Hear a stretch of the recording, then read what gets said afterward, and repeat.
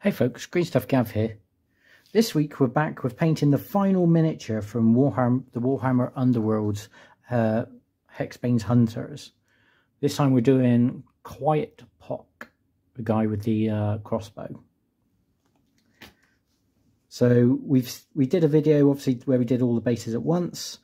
Um, he's been undercoated in Colourforge's matte black. It's lovely, lovely black. And yeah, so we'll um, paint this chap and that'll be the, the last of the crew done.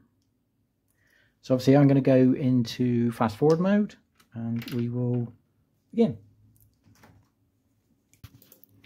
So we're starting with a dry brush of Iron Warriors all over. This guy's absolutely covered in some really textured armor plate.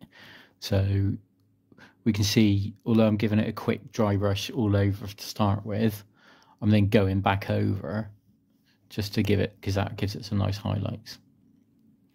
Uh, the rest, the rest of um, the like the cloak and that will be the same that we did with the other guys. Just keep them consistent, sort of a dryad bark, and just sort of picking out all the the overcoat. Um, quite quite a thin thin coat because obviously I mainly water down into my pots, but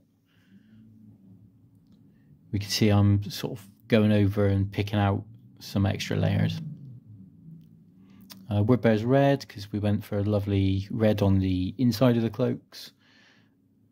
Um, not much to say here. I sort of just trying to pick out all the bits. So there's like a lovely little scabbard and then his actual crossbow I thought would be quite nice in red. Just to sort of give that um, focus, that bit of uh, attention. Um, flesh tone because he's got the same trousers as everyone else. So we're going to go for like a cream trouser. So we've started uh, with flesh tone because it goes over black very nicely. Uh, there's not a lot there.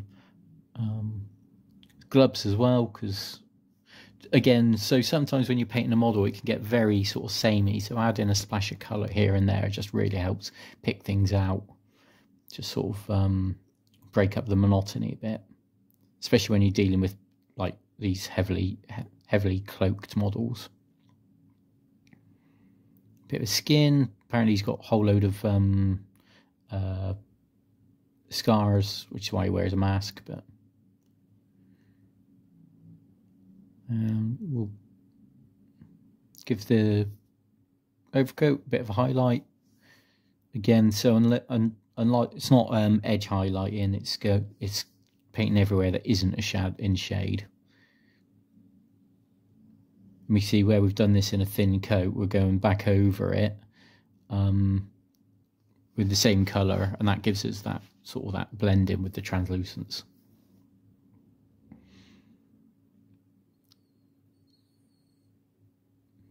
Yeah, we can. Um, fortunately, where we've painted uh, all the rest of the, the, the crew, now we're at sort of not a lot to say on this guy. It's a really nice crossbow though. I quite like, like say, the, the really heavily armoured look of the miniature.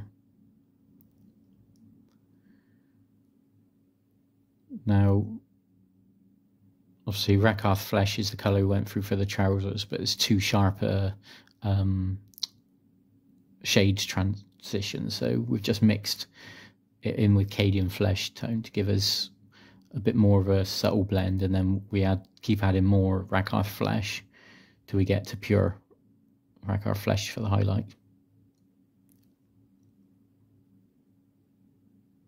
See, mix it in there and going straight back over, leaving all the shadings. Quite straightforward.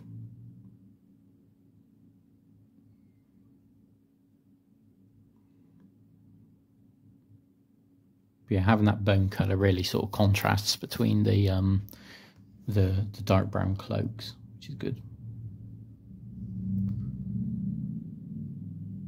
Also pick out things like the um, the arrow shafts. all the other guys have got um, like stakes, but this guy doesn't. So got a little bomb on the end of his arrow though, so we pick out the um, the fuse on that.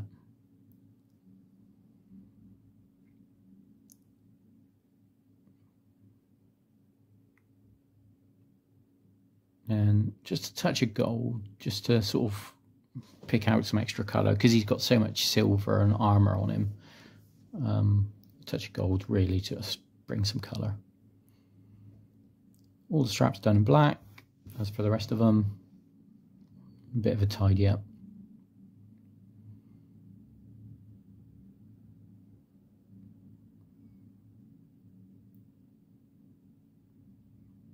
And pick out just the the um, end of the the flights on the arrows in a, a white, just a or an off white. I think this is um, Corax white. I think.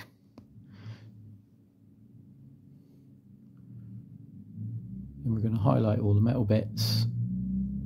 Although we've dry brushed all of it, is you can then go and give it an actual highlight on top, an edge highlight, and that really makes all your metalwork shine.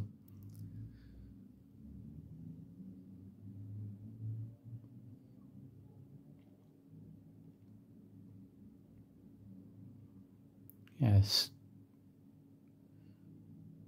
Just a touch. And all the straps get a grey highlight, all the black leather. Just to, again, as we did with the Terminator lady, is just to sort of make it look like, you you know, rather than just, oh, it's a black strap, you still catch the light. Yeah, it worked out well. And there's the whole crew. Thanks for watching and have fun.